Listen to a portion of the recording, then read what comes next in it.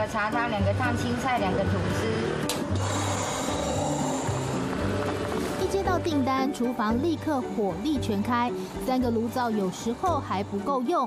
菜单里最叫做的茶汤，指的就是肉骨茶。早餐会吃，午餐、晚餐甚至宵夜都会有，就像台湾的肉燥饭一样。都是国民美食，对，就任何时候都会想要吃的东西，任何时候你想吃都会吃得到的。来自马来西亚的黎军，嫁来高雄后想创业，回到故乡槟城取经，开中药房的朋友给了肉骨茶的配方，想在台湾复刻。为了做出具有层次的肉骨茶汤，黎军得在前一晚就先熬汤。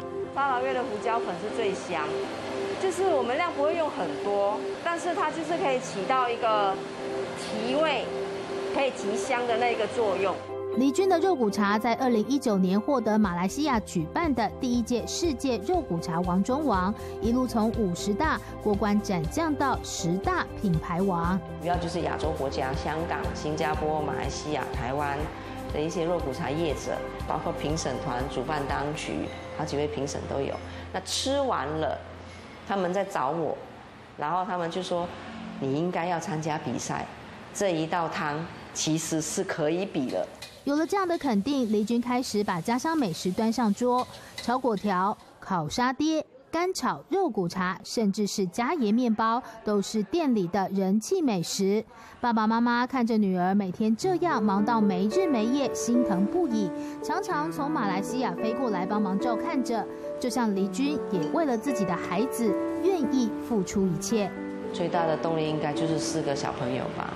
因为四个小朋友就靠我一个人在养，不管如何都不能倒下。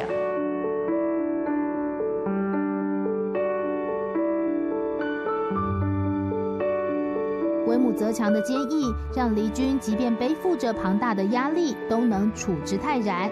就像他熬的这碗肉骨茶，醇厚的汤头是充满挑战的人生，也是时间的淬炼。